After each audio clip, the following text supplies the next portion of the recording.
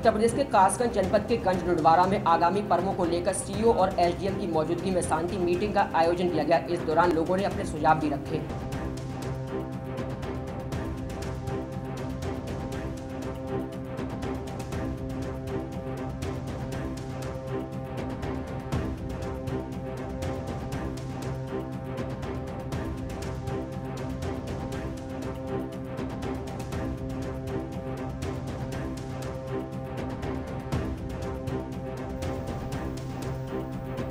प्रदेश के कासगंज में एसडीएम पटियाली शिव कुमार ने स्थानीय लोगों से आने वाले त्योहारों को शांतिपूर्वक व भाईचारे के साथ मनाने की अपील की। वहीं लोगों से कोविड 19 के नियमों का पालन करने की भी अपील की। वहीं उन्होंने नगर पालिका कर्मियों से साफ़ सफ़ाई व सैनिटाइज करने को कहा। बैठक में सीओ गोविंद्र पाल गौतम ने कहा की पर्वों को परम्परागत तरीकों ऐसी मनाएँ, लेकिन शासन द्वारा जारी की गई गाइडलाइन नियमों का पालन करें। मंदिरों में पूजा अर्चना के लिए जाने वाले श्रद्धालु मास्क लगाकर जाएँ, सोशल डिस्टेंसिंग का पालन करें। उन्होंने कहा कि पर्व को लेकर अफवाहों पर ध्यान न दें। शरारती तत्वों पर पुलिस की विशेष नज़र रहेगी और शांति भंग करने वाले असामाजिक तत्वों पर कानूनी कार्रवाई की जाएगी। नवागत कोतवाली प्रभारी शैलेंद्र प्रताप गौतम ने बैठक में आए संभ्रांत लोगों का आभार व्यक्त की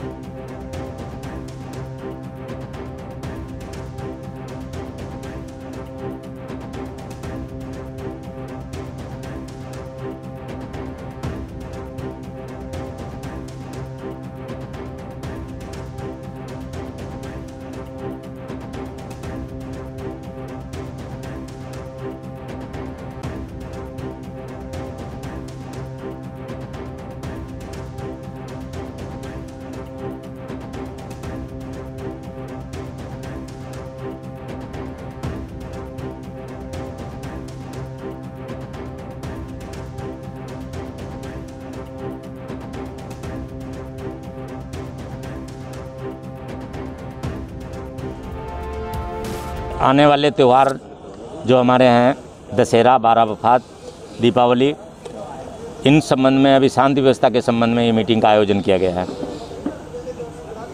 क्या दिए गए इसमें शासन के द्वारा जो गाइडलाइन जारी की गई हैं उसी के तहत इन सबको बताया गया है कि जहाँ पर आयोजन किया जाएगा उस जगह को सैनिटाइज किया जाएगा। मैक्सिमम संख्या के आधे और मैक्सिमम संख्या 200 है। उसके आधे की जो फ़ील्ड है उसकी परमिशन दी जाएगी और उसको पूरी तरह से सामाजिक दूरी का अनुपालन करते हुए मास्क के साथ व्यक्तियों का प्रवेश किया जाएगा।